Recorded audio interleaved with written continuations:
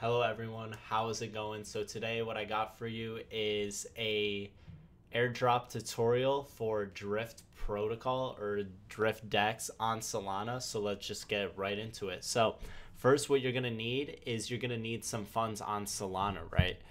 Uh, you could either do this by just bridging over to Solana or tr- um, transferring out of a centralized exchange. And personally what i did is i threw in usdt on here. So i just deposited some usdt that's pretty much it. Just deposit. And let's uh, let's go over how to get uh, a lot of points here how points work for drift protocol. So as you can see they do have a points program right here. Um, as you can see i generated 3000 of volume for what two points? Whatever. Like i don't even know how i did that. I did that randomly but I'm just going to go over how to generate volume, how to actually get points for this. So let's just go over it real quick. So um, over here, you could see that 1.2, they distribute uh, 2 million points per week, right? And 1.2 million of those points go to uh, liquidity pool providers, and 700,000 of those points go to takers. So perpetual traders or spot traders, right?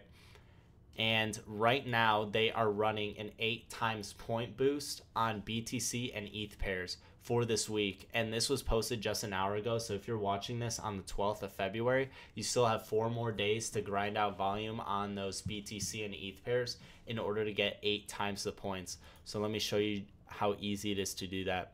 So once you deposit your funds, you're just going to go to perpetuals right here.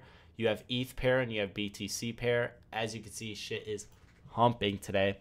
But what I'm going to do is I'm just going to make a limit order here, whatever uh, the middle of the price is.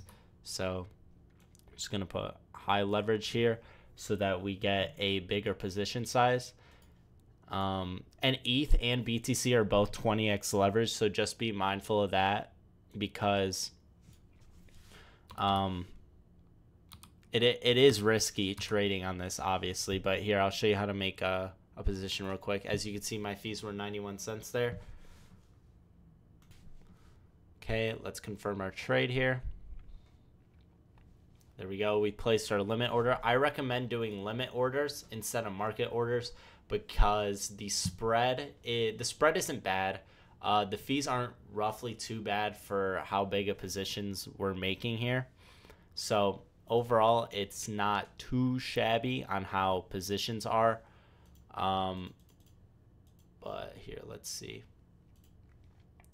So, okay, the U the UI isn't isn't bad, but it's a bit. Obviously, this is still uh, still relatively new.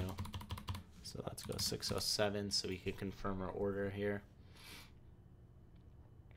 Boom. All right. So making orders oops, is going to be the main way that we generate volume on here. And as you can see, this would generate roughly $4,000 worth of volume just off of this. And the fees will be like, I think $2 roughly. Yeah, roughly like $2. Uh, what you could also do is uh, you could lend or borrow your stuff. So these are my current deposits. Uh, that's just how much you deposit initially, and you could borrow against that if you want and you get points per each of that per your deposits and uh, lending lending and borrowing. That is honestly pretty much it for drift protocol. All all i re- oh there are referrals too so if you have uh, friends that are doing this or other wallets you could just use your own referral link. I'll put my referral link down below. And uh, i mean yeah d- the main thing is just we don't want to risk that much. We want to minimize risk here while we are trading and uh, generate enough volume. And uh, that's pretty much it. So I'll see you guys in the next video. Peace out. If you have any questions, though, let me know in the comments. I do respond to all of them.